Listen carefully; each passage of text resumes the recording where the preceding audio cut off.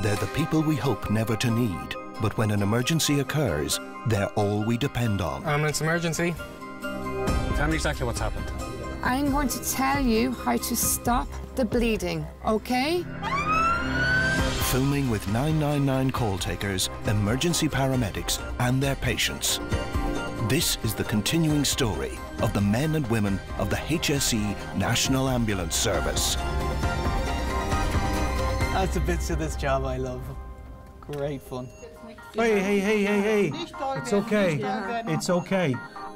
This time, what happens when the sun sets and an old crew unites to face the darkest of rescues? We got a call to a person in the river. If he's jumped into the river, he's done it for a reason, so he might not cooperate fully with us. I didn't ask for any of this. How the ambulance service copes when faced with fictitious calls for help. A hoax call is very frustrating. I don't understand them. 111 is not a contact number. And how no two days are ever the same and every call can change in a heartbeat. His daughter was there and she was explaining that he has this internal defibrillator fitted. His internal device decided to kick in and gave him a shock while he was still on the chair. There's a hand there. Fergus. Give it a hand.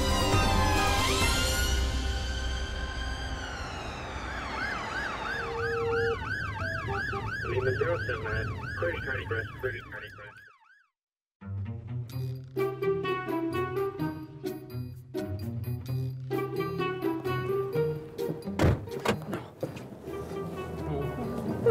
Motion lock activated.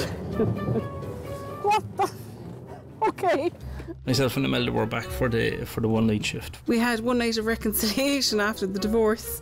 Um, my partner was on holidays, so um, the shift had to be filled, and it ended up that Peter was actually going to be covering the shift. Right, okay. Take two. I didn't know I was going to be working with Peter, or he didn't know he was going to be working with me until we actually came to work that night. Um, so it was funny. Uh, we were staying back together for one night only. Right. Focus, focus. Okay. You don't need your watch anymore, it'll tell you on the screen. You can see, I hope people will see, straight away we sat back into the ambulance and we were back to the way we were initially. Are you changing cars? Yeah. What are you getting rid of? An S Max, I'm after buying it. You get rid of the Skoda? Yeah. A new S Max or? No, it's. I'm a public servant. I'm a flew for S Max. We just really connect. We're in contact with each other, as I said, outside the job. Like, she tells me how her Smalley's getting on, I tell her how my Smalleys are getting on. My child has decided he turns into a monster. Mm-hmm. So everything will be lovely, calm, normal, and the next day he'll just start screaming. And you're like, what's wrong with you? I'm a monster. That was fine until he chased kids in the playground up in Wicklow last week. the older sibling was fine, but the younger one I think got frightened and she ran and he ran after her and she, he ran, she ran out of the playground and he ran out of the playground after and then she started crying. We have such a good connection. Yeah, we, we really do. Um, it doesn't matter. I'd say if we were five years, if we hadn't worked together for five years and we sat back into an ambulance, I'd say it would be the exact same thing as if we had left each other the day before.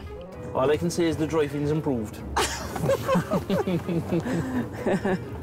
It was like never being apart, I suppose, just started back together working, carried on with the calls, didn't even discuss them, just got on with it again.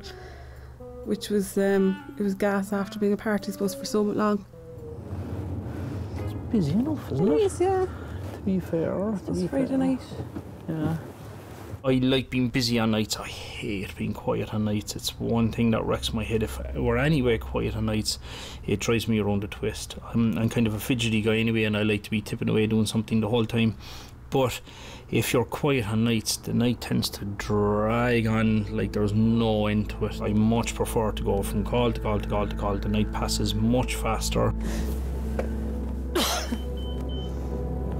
999 mode activated.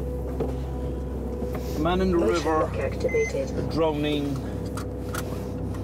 underwater drowning. Where? Anderson's Quay. We got a call to a person in the river, so we responded. Live the fireys there as well. Yeah, guards as well, probably. Instant location approximate. We were uh, down there as well the other night for one. Yeah. Yeah. Usually, we find that when we get calls to people in the river, when we get there, the fire brigade are usually there initially, and the guards, because the fire brigade seem to get the initial call for somebody in the river. Hopefully, it's just swimming now. It actually isn't Yeah. a drowning. Like, don't see any blue lights there.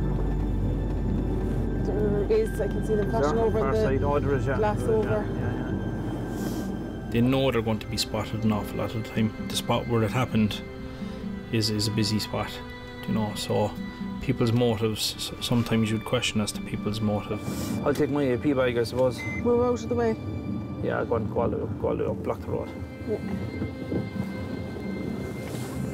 Uh, okay, they're bringing the basket down. Stop. Caution.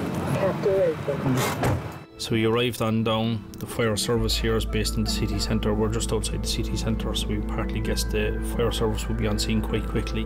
Up the side, When we got there, the gentleman was in the water.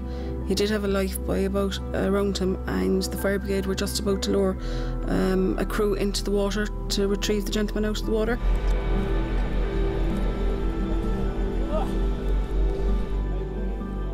My next kind of fear, I suppose, especially for the fire lads in the river, is how cooperative is this guy going to be? You know, but they're very well trained, even if they're not cooperative of getting these guys out of the river. So they sent down their basket on one of the cranes they have at the back of the fire tenders and got the chap up. There's nothing we can do when they're in the water. We can get our equipment ready for when he comes up out of the water, which we did. What we did was got our stretcher ready, got extra blankets ready, and a foil blanket just to keep him warm. We turned the heating on in the ambulance on the way down just to be sure that the ambulance is nice and warm when he gets into it. The thing is full of water, so we'll stand him out onto it. Yeah, yeah. Here Stand them comes. out, shirt off, hands Yeah. down, phone on, and away Yeah. we go. Happy? Myself and Imelda, we started to formulate a plan between the two of us as to what we do once the chap came out of the river.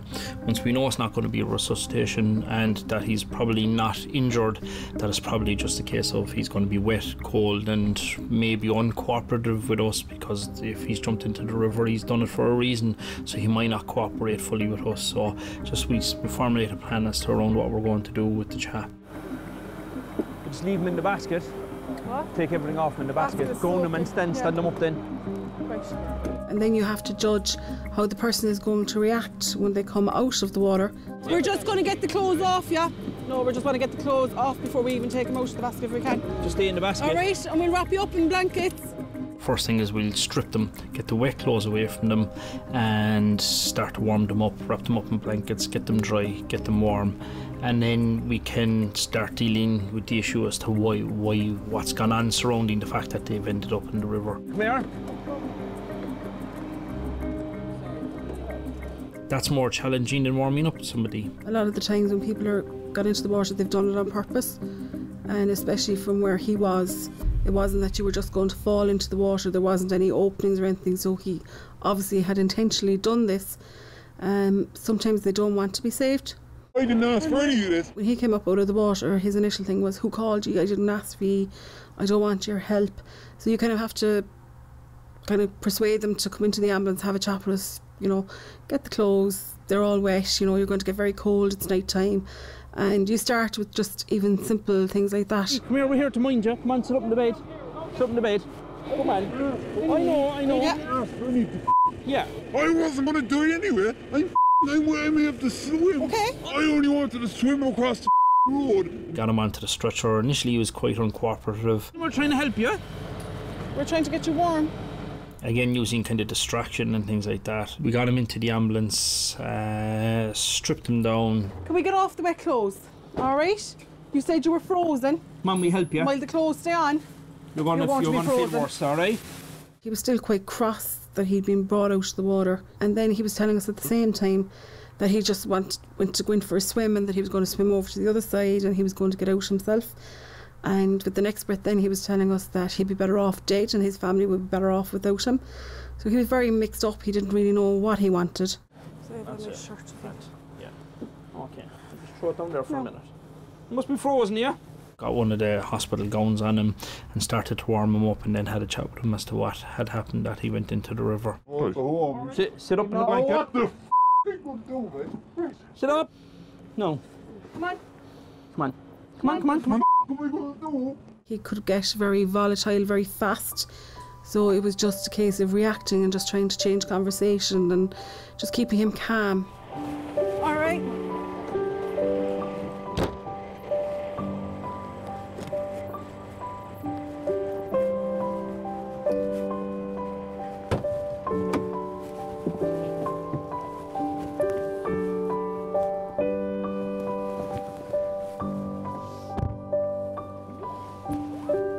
Most people, if you chat to them, you know, anyway, kind of reasonably, and you know, you know, they know you're there to help them, and you're not there to cause any hassle. They'll just, they'll just cooperate with you most of the time. Right, let's hear what Just looking for an update from the scene there, please, over. Roger, we've left the scene there en route to the Mercy Hospital. Brought him along as far as um, one of the local A&E units, and they had a word with him as to what went on, um, and just made sure like he had no injuries or anything, so we weren't concerned for him in that sense. And once he was warm again, he was fine. It was just a case of deal with whatever issues he had surrounding jumping in. In the end, he was thankful um, and he, he thanked us both, um, even though initially he wanted nothing to do with us. So it's all just talking to the person and trying to understand what's going on with them, if they'll, if they'll share th- that with you.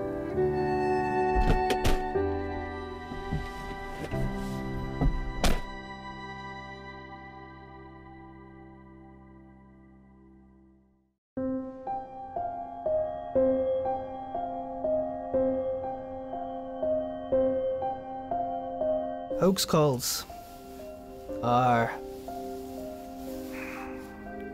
I don't understand them. A hoax call is very frustrating.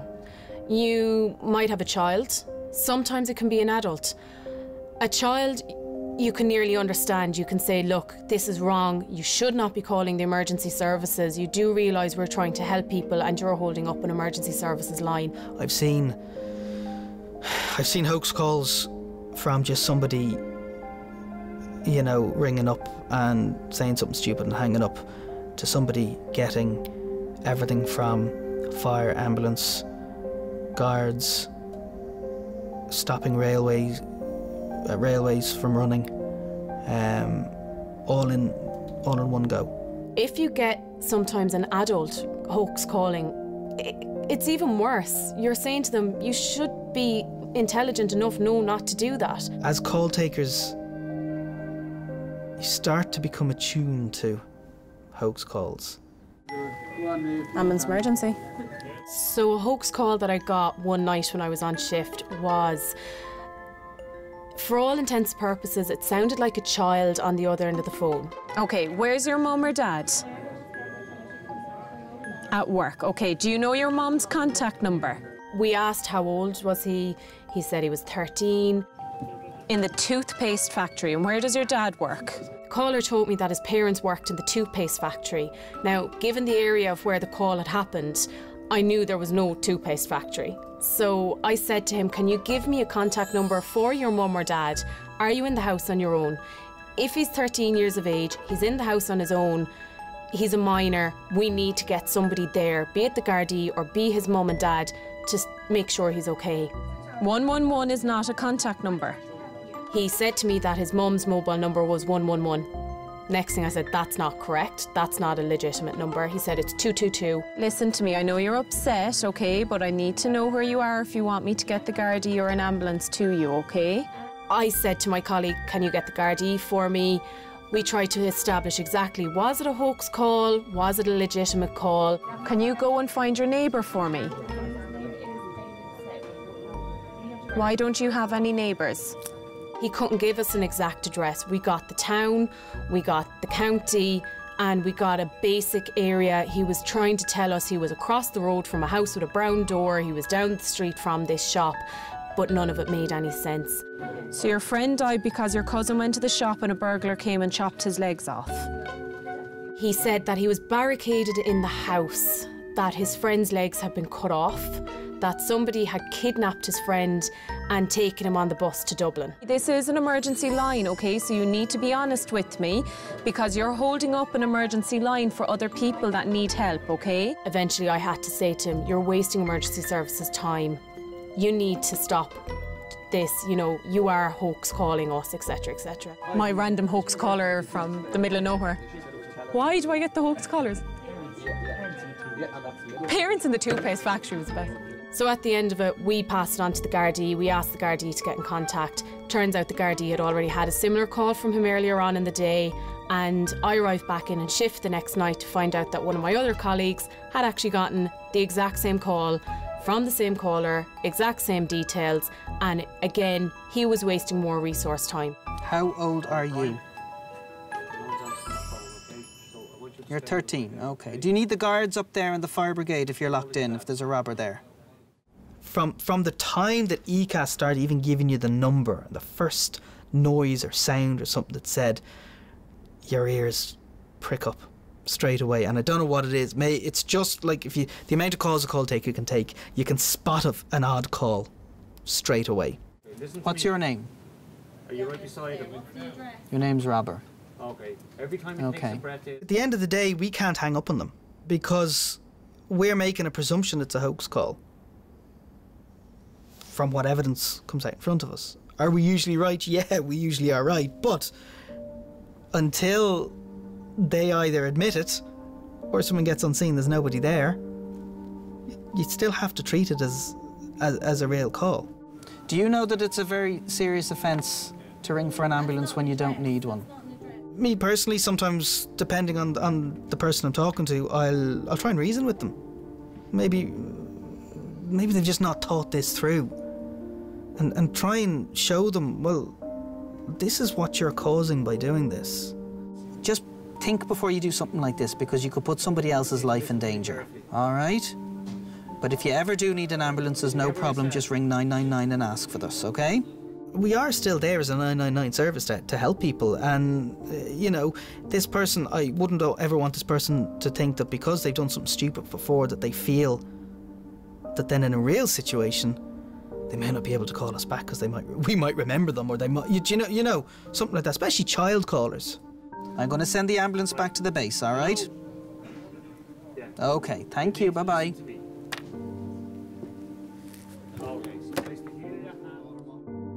You're literally, you're literally playing with people's lives when you make a hoax call to the emergency services because while we're dealing with whatever you tell us is going on, we can't be available to deal with somebody who's actually genuinely in need of us. Unfortunately, it's something that happens too often.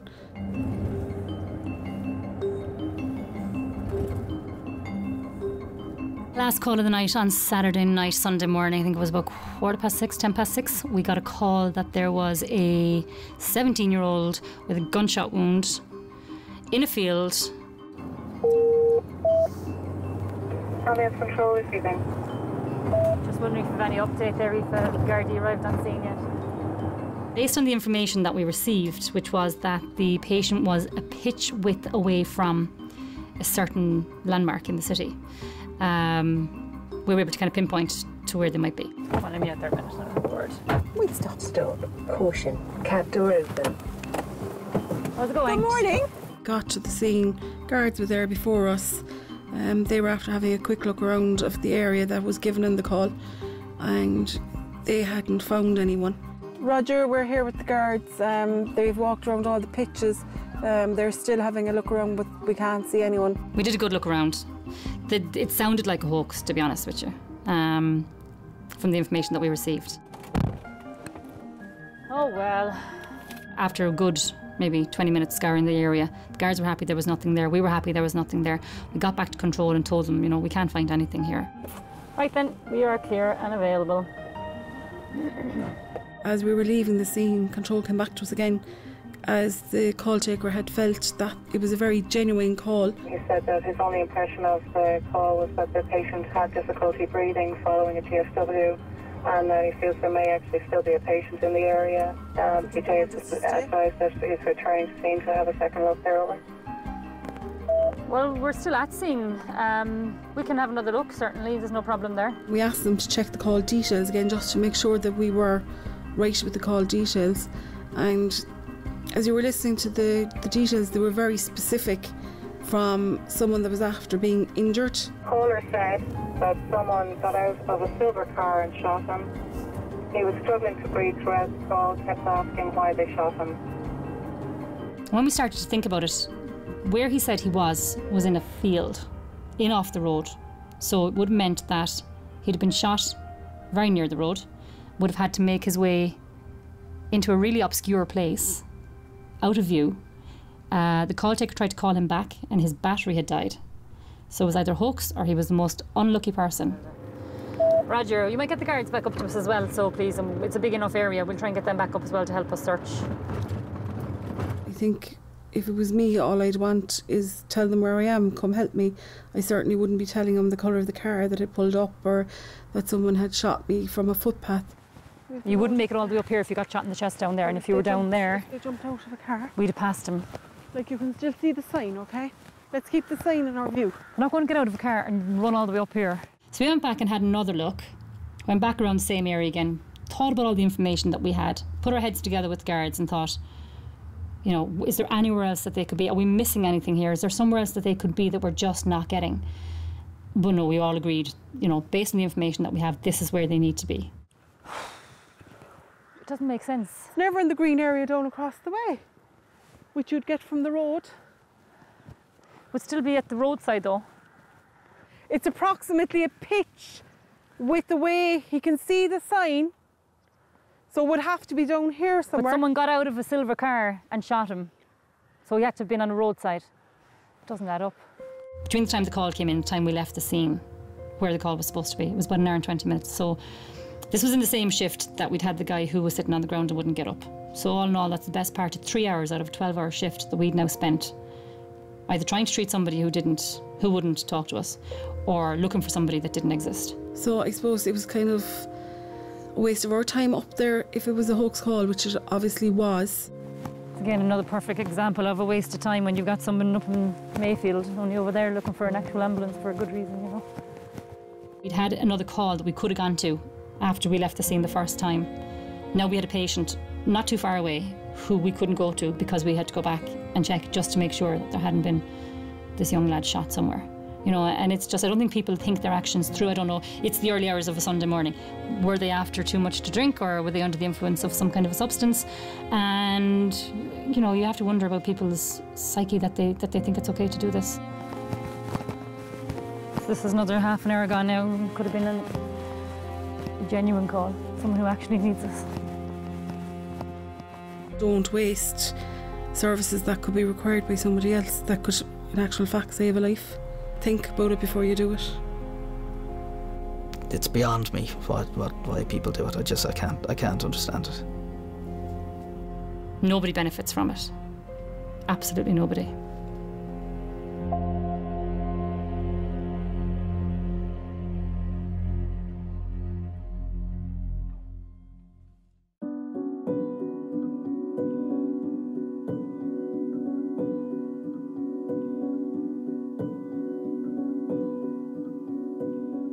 Very hard to deal with miscarriage calls. Um, the lady doesn't want to believe that that's what's happening to her. She just she thinks that she's spotting or that something minor might be wrong. Um, and when they ring in, we have to find out if it's a pregnancy call, and inevitably it is. And then we have to find out if they're going term or if it's a possible miscarriage. Um, if it's a possible miscarriage, there really isn't a lot that we can do for the patient. Talk to them, be there for them while they're waiting on help to arrive. Ambulance emergency. I remember that call as clear as day. Thank you, ECAS. Now, caller, what is the address of the emergency? I got a call um, from a, a young lady who said she was getting stomach pain. Um, so initially I was thinking, okay, she's got abdo pain, and I was going to go with abdo pain until she mentioned that she was three months pregnant. And pregnancy is a priority, so I went with my protocol and went with the pregnancy. Now, do not try to prevent the birth and do not sit on the toilet, okay? Assume the most comfortable position and take deep breaths. Now I'm going to talk you through everything here, okay? Just let me know exactly what's happening with yourself. She'd left where she was and had gone walking down the street, and then as she was walking down the street, she started to feel something wasn't right. Um, she sat down on the curb on the side of the road and rang 999 and got through to myself. Now, you said there that she's pregnant and she can't get off the ground. Tell me exactly what happened or how, what, what's wrong with her. The dots started to connect, and I started to realise this, this, this could be a miscarriage. But obviously, I didn't say it to her because you don't want to panic the patient in that situation. We're going to have to check and see if there's any bleeding there, okay? I asked her to check was she bleeding, and she was in a public place and she was too ashamed to check if she was bleeding. And if there is any way that you can check about the bleeding there, let me know, okay? It's very important. All right. No, no, I, I understand, I understand. Just let me know if they, if they find it. As much as we needed to know if she was bleeding, I could understand she was in a public place. She did not want to be seen doing that. And she would have been embarrassed by it. And I just asked her if there was any way that she could check. And, you know, every so often, are you sure you can't check for me? Can you turn around there so nobody can see and just feel the inside of your leg or something like that? And she just refused to do it. She didn't, it was like she didn't want to know what was actually happening to her at that moment in time. You're doing absolutely fantastic. We have help on the way as fast as it can to. And there'll be somebody there that can flag down the ambulance crew whenever they see them, is there? Her partner was there, and but he was keeping an eye out for the ambulance. So in a sense, she actually was alone, other than having me on the phone.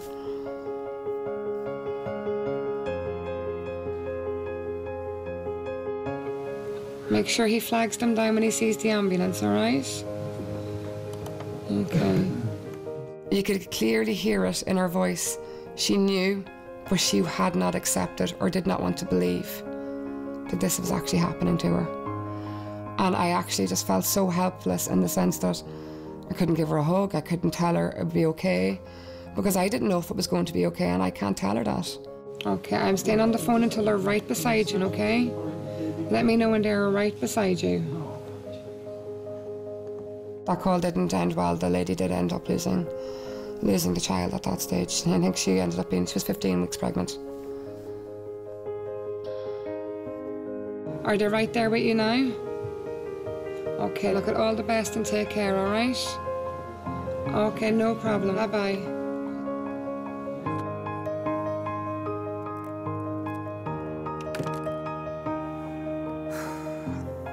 Everybody loves to get a pregnancy call, but when it's not a happy ending in the pregnancy call, it's very emotional, especially being a woman. It is it is emotional because you, you, you tend to connect with them on the phone. Like they're excited. They might have been trying for months, years to get pregnant, and then they get pregnant and they lose it. Um, and you, you're you're there with them, and you, you can just completely feel their pain every step of the way.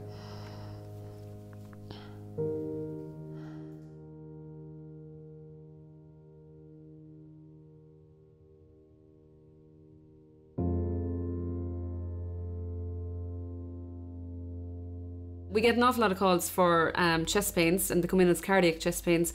Um, so, needless to say, we respond to them um, at pretty much as a high priority sort of an event. It's like routine to us to do a chest pain call. You know exactly what to ask them, you know exactly what signs to look out for. On arrival, when we're looking at the patient, we have a good idea as to as to how they are looking, whether they're, you know, what colour they are. Are they really pale? Are they slightly blue? Are they sweating a lot?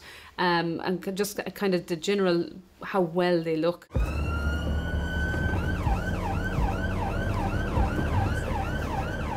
We got a call for a gentleman with um, cardiac chest pain down in Bray, um, which obviously isn't too far away from us here. Three or four.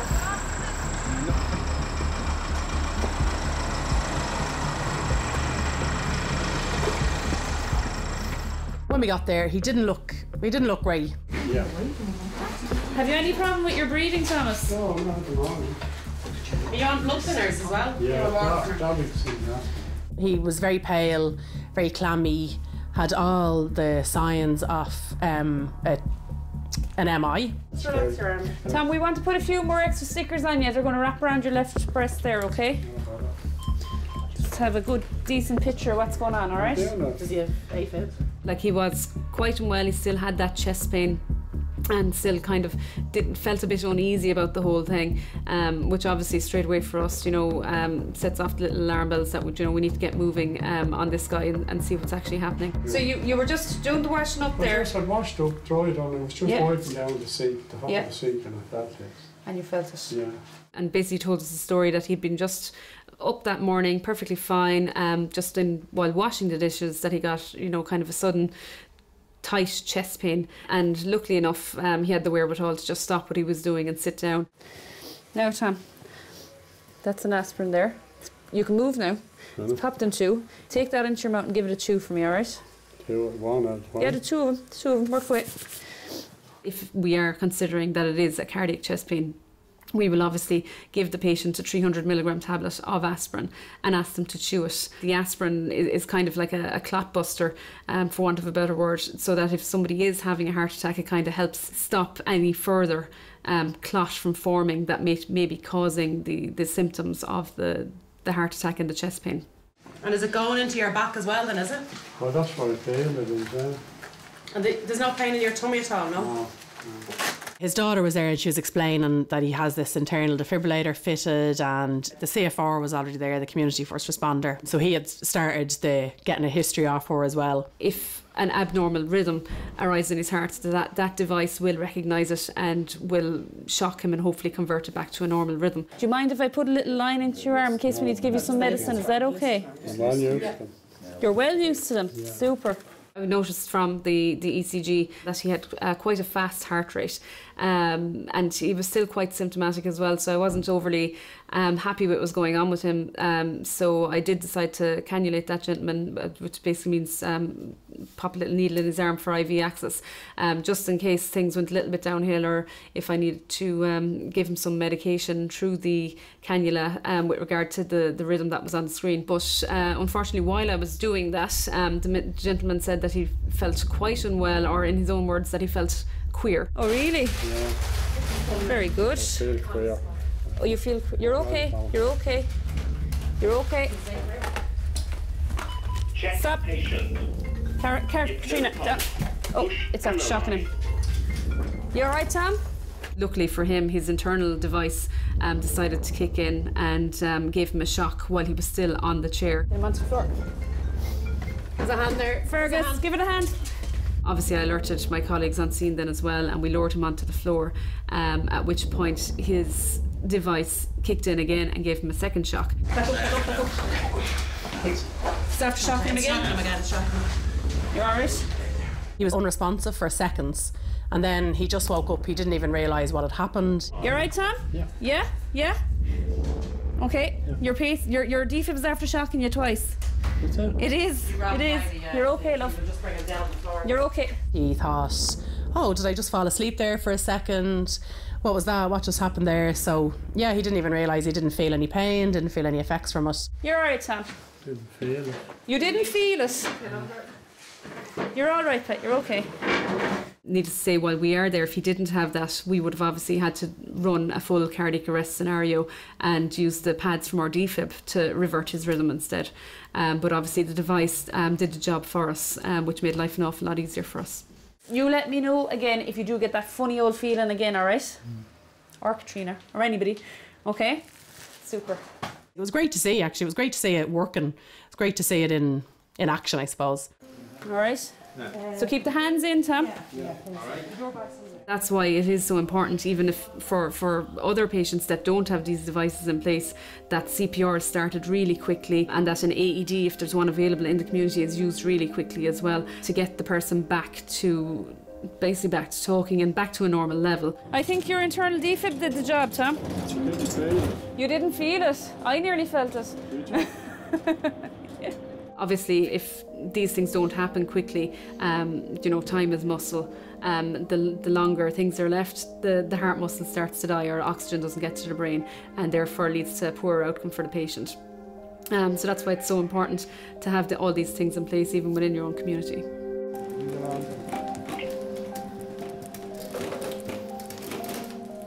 He was fine. We'd done a 12 lead ECG and I'm after it as well, made sure he was okay, and we brought him straight to Vincent's.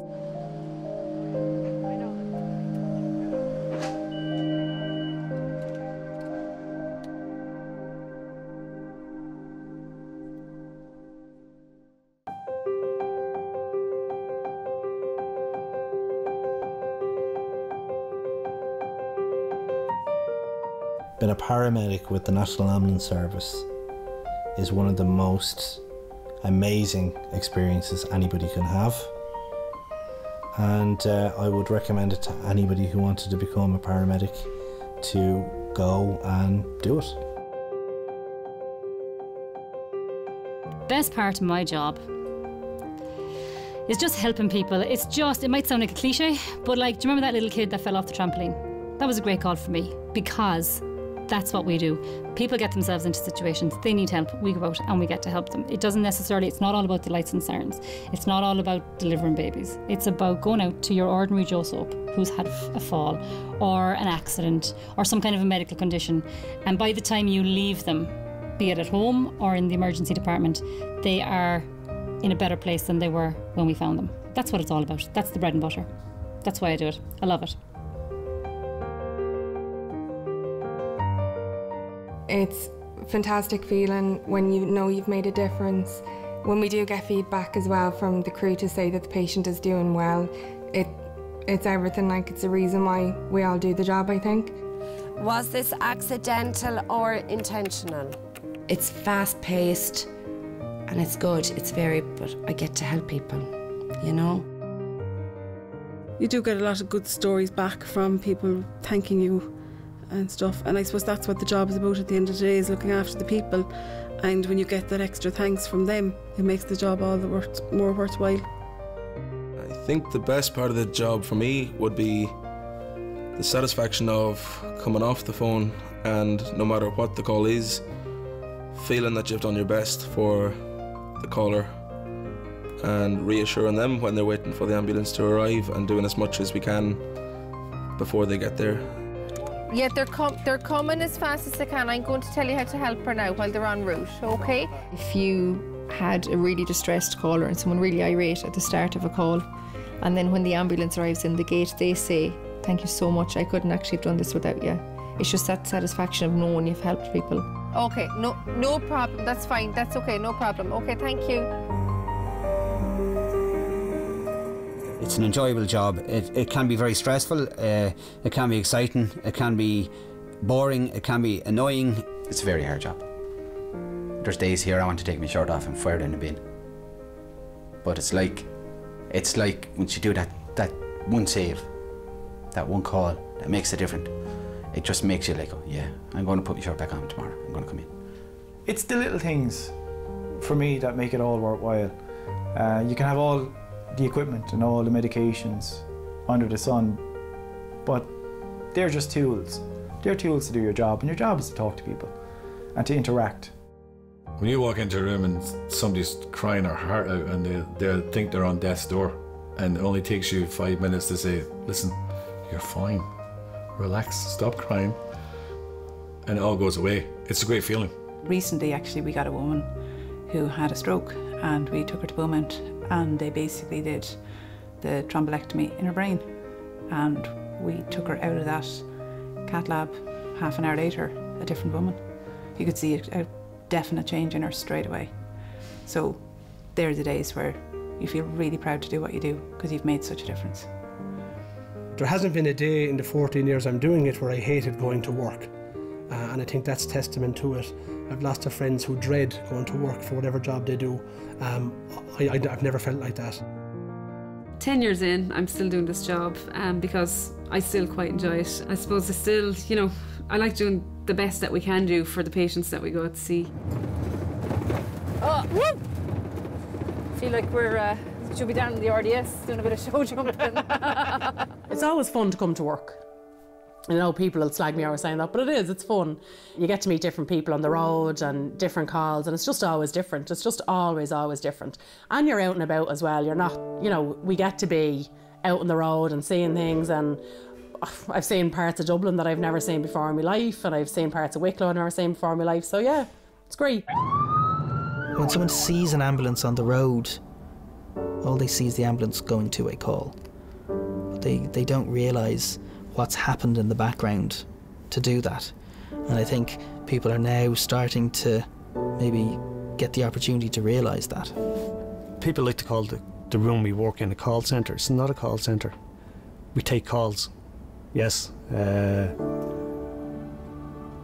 Sometimes we even manage to save lives, and that's great. But, you know, we're here to help people. And what caused the fall? To ring 999, you need to be desperate. You need you need a reason to ring 999. So to ring 999 and to get someone that is willing to help you and that is there to help you and do your best for you. That's why I do it. I do it because I want to help people. And the guys that work there in the control room, I know we have a laugh, we have a, gi- a kind of giggle. You know, we don't like the soppy stuff. But you know, at the end of the day, they're the best people in the world. They'll do anything for you. To be honest, it's the people.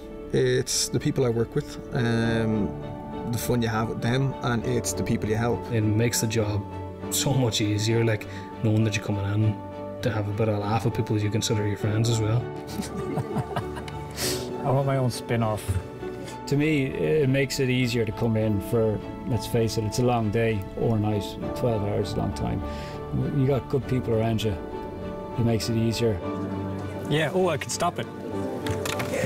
Yeah. I was messing, I pressed buttons. That's what I, I used to be, you know, I used to do things like that for a living, so I was messing with it and I probably broke it, sorry. Why did I say we talk too much about motorbikes? Do we? No, I don't know. I don't think we do either. It's a serious job, and we, we know it's a serious job. But, you know, I suppose the banter is just our, our kind of coping mechanism uh, for getting through the day.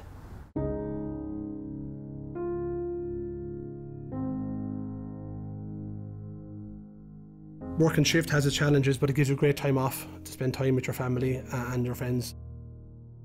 I started off as a mechanic. I used to fix cars for a living. So it was a bit of a stretch from the point of view of uh, the hours that I work and the type of work that I do. But for my family to see the difference in me and uh, the joy that I have in doing the job that I do versus coming home sort of tired and cranky and sore from a job that I don't really love doing, um, it's been an easy sort of transfer from the point of view they see how happy I am.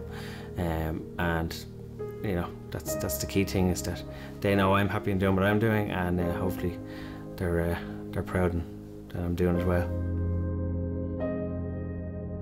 You need to support your family. It's we do an awful lot of weekends, bank holidays, holidays, Christmases, Easter's, you know, missing tooth fairies, lots of different things on on different days that you, you miss out on. So you must have to support your family. My smallies think it's great uh, that I'm in the ambulance. They love coming into the station. My little fella loves coming into the station, and um, I suppose anytime an ambulance passes, uh, I have a little girl and she's nearly two, and she'll be like, "Daddy, Daddy," and even if I'm sitting in the car, she's still saying, "Daddy." She still thinks I'm in the ambulance passing. You could have a, you could have a horrible day. You could have a hard day. You could have a bad day. But you don't want to be bringing that home. You don't want to be bringing that home, no matter how bad your day is in work. You know, with could be the worst call you've had all, you know, in your career, and you don't want to bring that home. We all do the same job. We all share the same troubles. We all deal with the same thing too as well. So you know, there's always somebody there to talk to. You know, so it's it's good. We all have each other's backs, so it's it's good. It's a family. And that's the only way I can describe it. It's a family. Um, you spend most of your your week working. Um, it has to be enjoyable, but it's it's a family down here, um, and I'm sure it's the same in every other base in the country as well.